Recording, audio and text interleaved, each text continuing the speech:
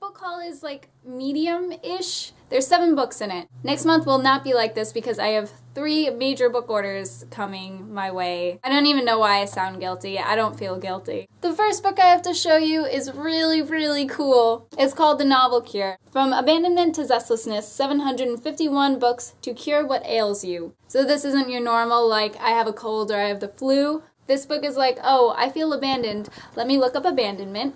And then it'll give you book recommendations. It'll also give you a paragraph summary of, you know, why that book would be good for that specific ailment. They have a lot of books for breaking up, you know, loneliness, uh, getting old, all that fun stuff. I'm really excited because this is something that I could just pick up and put down. It's not something that I necessarily have to put on my TBR. It'll just be like a nice little surprise where I could buy more books from because that's what I need. So pretty though, so pretty. And look at this.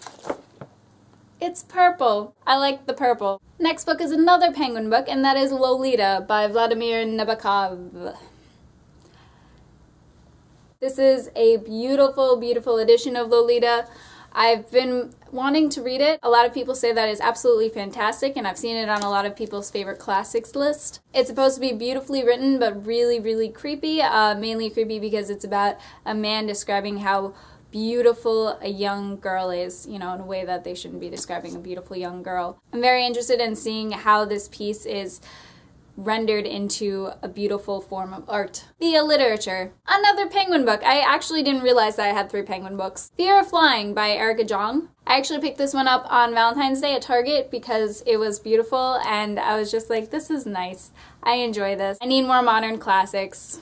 Let's do it. It's written by a lady. I don't usually read books written by the ladies, so that's a plus. And it's just about love and sex and womanhood and it's supposed to be really hilarious but Catcher in the Rye hilarious where it's that dry humor and I enjoy me some J.D. Salinger like humor. Next one is a classic that is not modern and that would be Persuasion by Jane Austen. This is the Dover Thrift edition. I really really enjoy the Dover Thrift editions of classics because I can dog ear it and highlight it and everything without feeling bad. Not to say that this isn't a really nice cover. For example, this is my other copy of Persuasion by Jane Austen. Do you see how gorgeous it is? I just love this color blue and I love oh, just the pink inside of it. It's just, they're the most beautiful colors ever. This is such a phenomenal, phenomenal copy and it's so beautiful. Never in my life could I imagine dog earing it and highlighting it and underlining like I usually do in classics. So this is just my really pretty copy.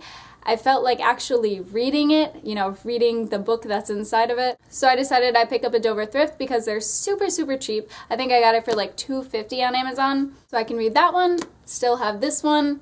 Perfect. Life is great. Next three books are parts in a series. Surprise, surprise, it is Shatter Me by Tahereh Mafi, Unravel Me by Tahereh Mafi, and Unite Me by Tahereh Mafi. I did not get Ignite Me because it is not in paperback yet. However, I've read all of the three books, the three main books on my Kindle already. I have not read Unite Me yet. We'll be doing that soon, and after that, I will be doing a series review.